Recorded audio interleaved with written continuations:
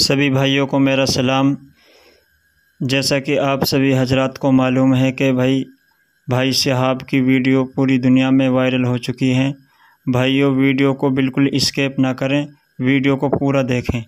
आगे भी भाई शहाब की काफ़ी वीडियो देखने को मिलेंगी इसी वीडियो में। और आप बने रहें हमारे वीडियो से।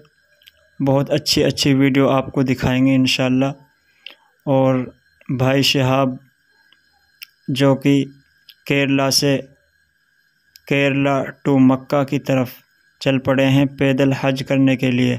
अल्लाह ताला भाई की हज को कबूल फ़रमाएँ और इसके सफ़र को आसान फ़रमाएँ।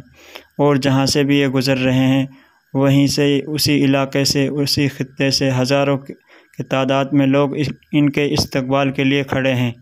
माशाल्लाह ये बहुत गर्व की बात है, क्योंकि एक भाई पैदल हज के लिए जा रहे हैं, माशाल्लाह। भाइयों, अगर हमारी वीडियो अच्छी लगे तो एक लाइक करें, कमेंट करें और वीडियो को ज़्यादा से ज़्यादा शेयर करें और हमारे चैनल पर नए हैं तो चैनल को सब्सक्राइब ज़रूर करें। मैं आकिब खान मेवाती, भाई साहब को हमारी तरफ़ से दिल की गहराइयों से सलाम।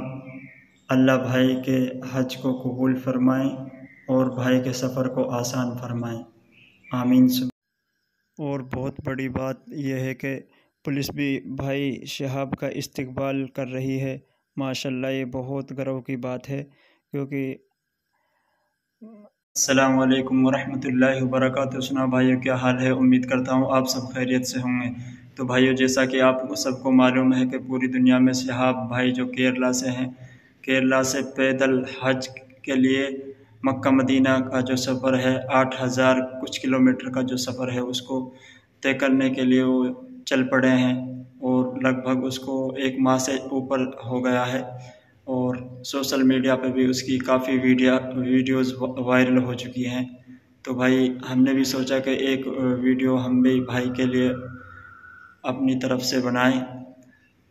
हमारी तो यही दुआ है कि भाई के सफ़र को अल्लाह ताला आसान करे और अल्लाह ताला भाई को बहुत अच्छे इत्मीनान के साथ में उसको पहुँचने की तोफ़ी नसीब फरमाए और सभी भाई भाई सिहाब के हक़ में दुआ करें। अल्लाह ताला उनको